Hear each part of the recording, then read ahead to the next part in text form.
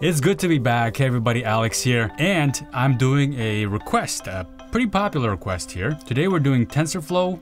We're doing a pretty heavy duty test. It's gonna make this machine very, very loud. And this, by the way, is the um, Asus ROG Strix with the Ryzen 9 5900HX. And here's the kicker. We're doing a GPU test today, right? So we're gonna be running this TensorFlow process on the GPU of the M1 Max and comparing it to the RTX 3070, which is on this machine right here. This one's gonna be really hot, really loud. This one probably not so. And this test is courtesy of Thomas Capelle, who is uh, responsible for creating this repository, which is keeping track of all these benchmarks. You can check it out, I'll link to it down below. Basically, here is the instructions on how to set this up.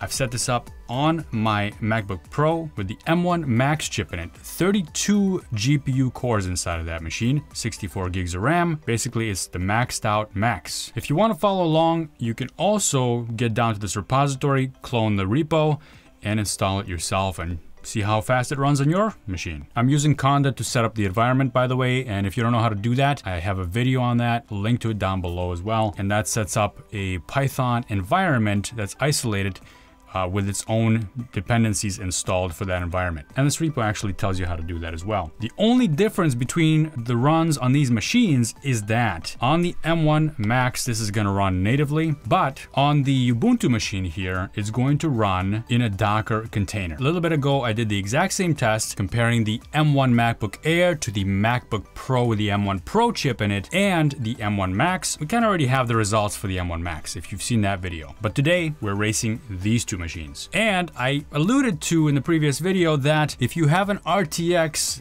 3070 or 3080 card that has CUDA cores in it that are geared and optimized to run this so it's gonna be faster. How much faster it is, that's what we'll find out today. And we're gonna use our special friend here. Yeah, I know that that's kind of creepy, but I felt like it gave it a more human touch. Since we already have a name for this guy, thanks to all those who voted in the poll, ladies and gentlemen, meet the Schwarzenegger. This is going to be what executes our test.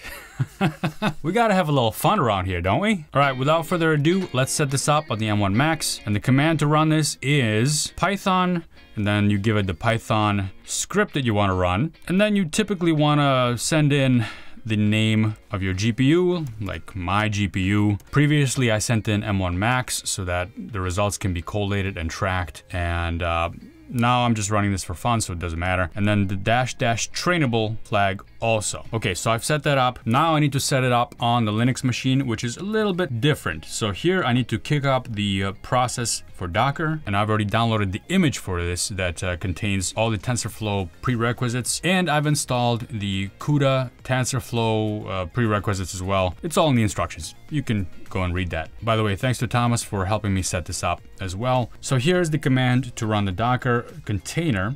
I'm gonna go ahead and do that. Now we're inside the container and we've mapped the volume to our code directory. So I'm gonna go back there uh, to the code directory.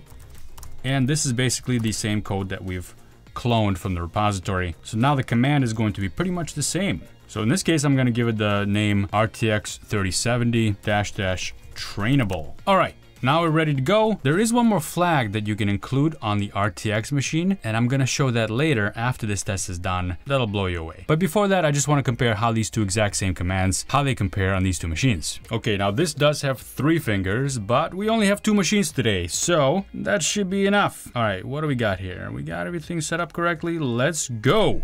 They're off to the races, and this should take a number of minutes, so I'll be back. What the heck is going on here? Uh, Schwarzenegger, you're letting me down. This is not what I expected, and I don't know what the heck is going on, but the M1 Max finished first. It finished already. It finished with all 10 epochs, and this one is still working. By the way, the M1 Max is at 67 degrees, fan spinning. Eh, it was about 3600, now it's down to 2800, 27, slowing down a little bit here. I'm using TG Pro, by the way, to figure out the temperature and the fan speed. Ugh, RTX 3070, what's going on here? I can turn this up to max, and now you'll hear the fan, so that'll cool the system down faster. And TG Pro lets me do that. Link in the description down below if you want to check out a copy for yourself. So yeah, the, you can see the RPM is now at full speed, 5500 RPM, but the temperature is going down much faster, so it's cooling down a bit.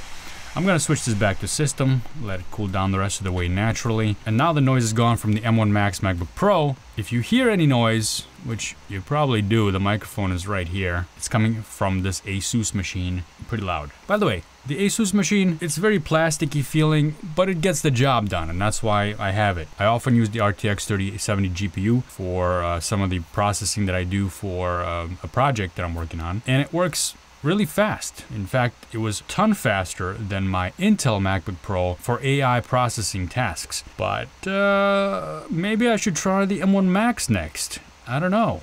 All right, it's about time, and this thing is just wrapping up. That took a while.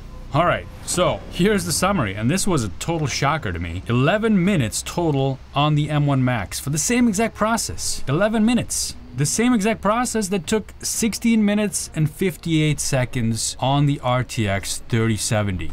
What's up with that? So a little bit of a disappointment, but there is another card up my sleeve. Dash dash FP16. This is the flag specifically for the RTX cards that allow you to use the tensor cores on the GPU. And the instructions can tell you how to do that as well.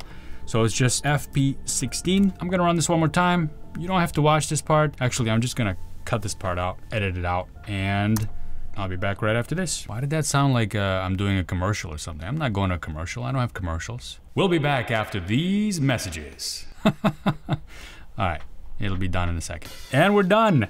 9 minutes and 40 seconds on the RTX 3070 with that flag. So you need that flag for the optimizations to kick in, yet it is not that much faster. It is faster than the M1 Max, but yet it's not that much faster. We're talking about a difference of uh, 1 minute and 20 seconds. I don't know, whatever the percentage is, you can calculate it. Maybe I'll calculate it, leave it up here. But the GPUs in the M1 Max are usable for AI work. And this kind of proves it. So this is pretty good. This is good news, at least for those of us that are interested in buying the M1 machines, the Apple Silicon machines, and uh, the ones that want to use it for this kind of work. TensorFlow is currently supported, and if anybody's using PyTorch out there, it's not yet supported. But they're working hard on it get it going, and as soon as they do, I'll hopefully make a video on that because I'm really curious about that myself. Did this video help you out? Give you some information, something useful? I'd appreciate a thumbs up. Subscribe for more content like this, and I'll see you in the next video. Later.